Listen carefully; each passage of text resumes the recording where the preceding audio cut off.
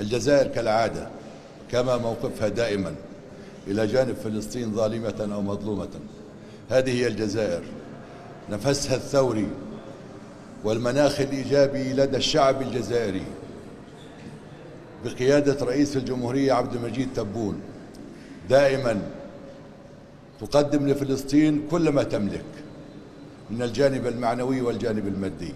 وهذا يدفعنا دائما التمسك بحقوقنا الفلسطينية غير قابلة للتصرف.